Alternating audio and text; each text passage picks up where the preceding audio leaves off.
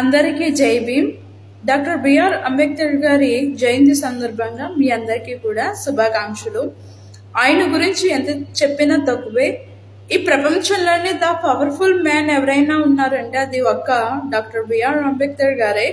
ఎందుకంటే మన తాత ముత్తల కాలం నుంచి స్త్రీలు అంటే చాలా చిన్న చూపు. వంటింటికే పరిమితము. స్త్రీ అంటే ఒక వస్తువు ఒక ఆట వస్తువు మాత్రమే అని మన పెద్దవాళ్ళు నిర్ణయించేవారు.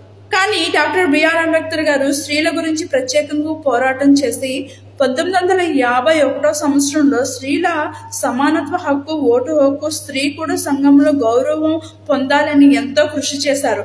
ఆ కృషికి ప్రతిఫలంలో చాలా చాలా అంటే చాలా నిందలు విమర్శలు ఎదుర్కొన్నారు. ఆ నిందల విమర్శల్లో కూడా తన మంత్రి పదవిని కూడా కేవలము స్త్రీల సదస్సు గురించి రాజీనామా చేసి బయటకు వచ్చి చాలా పోరాటం చేశారు.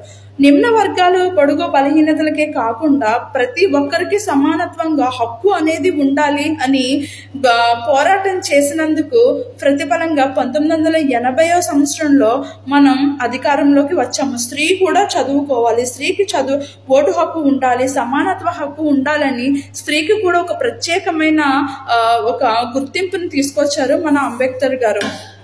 ఈ రోజున ఒక స్త్రీ ఈ గల్ఫ్లో తనంతట తను స్వేచ్ఛగా జాబ్ చేసుకుంటుంది స్వేచ్ఛగా ఎక్కడికైనా తిరుగుతుంది వెళ్తుంది అంటే అది మనకు డాక్టర్ బిఆర్ గారు పెట్టిన భిక్ష అని నేను ఖచ్చితంగా చెప్తున్నాను.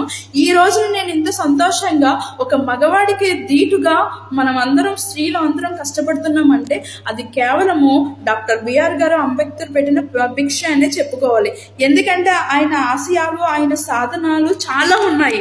అవన్నీ కూడా మనం అందరం కూడా ఒకటి ఒకటి కూడా మనం కంప్లీట్ చేయాలి. మన తండ్రి ఏదైనా ఒక ఆశయం ఒక మన నుంచి ఏదైనా పొందుకోవాలి అనుకున్నప్పుడు మనం ఎలాగైతే నడుం కట్టుకున్న తండ్రి ఆశయాన్ని నేను నెరవేర్చాలని అనుకుంటామో అలాగే మనం కూడా మన డాక్టర్ బిఆర్ అంబేద్కర్ గారి మన తండ్రి ఆశయాలను కూడా మనం కూడా ముందుకు తీసుకెళ్ళాలి. అంతేగాని ఆయనకి గుడి కట్టలేదు ఆయనకి ఇది చేయలేదు అన్నదే కాకుండా ఆయన ఏ ఆశయాల గురించి అయితే ఏ త- నిమ్న జాతుల బడుగు బలహీనతలని ఎక్కడైతే విచక్షణ జరుగుతుందో అక్కడ మార్పు అనేది తీసుకురావాలి. ఆ మార్పు మన నుంచే మొదలవ్వాలి.